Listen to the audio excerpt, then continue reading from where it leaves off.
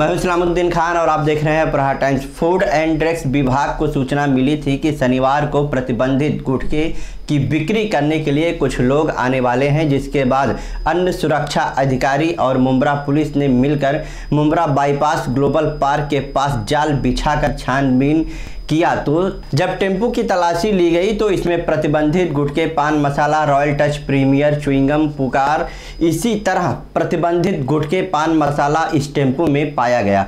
Tempo को जब्त कर सील कर दिया गया है। मुम्बरा पुलिस ने इस टेंपू के मालिक मोहम्मद इरशाद को भी गिरफ़्तार किया है। आरोपी इरशाद अल फुरकान ग्लोबल पार्क का रहने वाला बताया जा रहा है। इसके अलावा एक और अज्ञात व्यक्ति के खिलाफ इस मामले में शिकायत दर्ज की गई है। फ़िलहाल पुलिस ने भारतीय दंड संहिता की धारा 328, 188, 273, 189 व अन्य सुरक्षा अधिनियम के तहत इन पर मामला दर्ज किया गया है। और आगे इस मामले की छानबीन की जा रही है तो तमाम खबरों को जानने के लिए देखते रहिए प्रहार टाइम